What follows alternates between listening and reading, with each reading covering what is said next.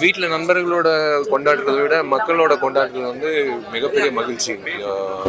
எனக்கு வந்து காலையில காலையிலேருந்து ஒவ்வொரு பகுதியில அவங்க கொடுக்குற அந்த அன்பு ஆதரவு அதெல்லாம் பார்க்கும்போது என்ன கிட்டத்தட்ட ஒரு ஆயிரம் பேர் என்ன மனசாக வாழ்த்துருப்பாங்க இன்னைக்கு. அது அது எப்படி சொல்றதுன்னு தெரியல. சில பேர் வந்து சும்மா வாய் வாய்க்கு வந்தது வாழ்த்துவாங்க. ஆனா மனசார வா- வாழ்த்துனது வந்து இன்னைக்கு நான் பார்த்தேன். ரொம்ப சந்தோஷம். கடைசியில் கோயிலுக்கு வரணும்னு வேண்டிட்டேன். கோயில் சாமியை பார்த்துட்டேன். சாமி கிட்டேயும் ஆசீர்வாதம் வாங்கிட்டேன்.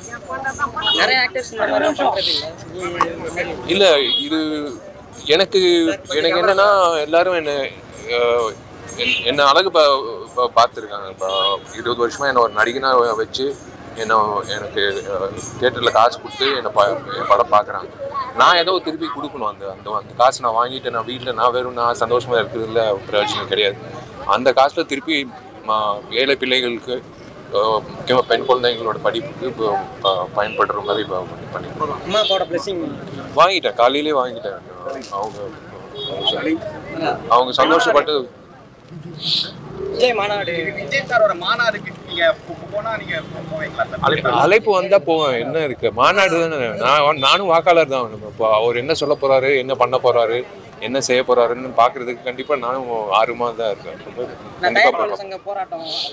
அது வந்து எனக்கு கருத்து சொல்ல விருப்பப்படல. அது எதுக்கு ஸ்ட்ரைக் பண்றாங்கன்னே தெரியல.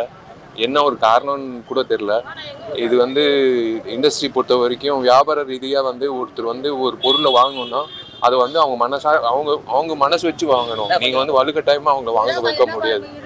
இது இது இது வந்து ஒரு இக்கட்டான ஒரு சூழ்நிலை சினிமாக்கு தமிழ் சினிமாக்கு கண்டிப்பா வந்து ஒரு எல்லாம் சேர்ந்து எல்லா அமைப்பும் சேர்ந்து பெப்சியும் நடிகை சங்கமும் தயாரிப்பாளர் சங்கம் மூணு பேரும் சேர்ந்து ஒரு நல்ல முடிவு எடுத்து இந்த இண்டஸ்ட்ரி முன் முன்னாடி கொண்டு போகணும்.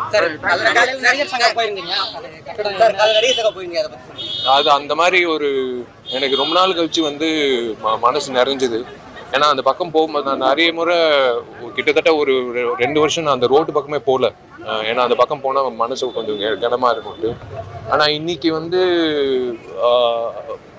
அந்த கட்டடம் வந்து அந்த ஒரு ஸ்டேஜுக்கு வந்திருக்கு. ஒரு ஸ்டேஜுக்கு வந்திருக்கு. அந்த ஸ்டேஜ் பார்க்கும்போது ரொம்ப சந்தோஷமாக இருக்கு. கூடிய சீக்கிரம் இந்த கட்டடம் வரும்.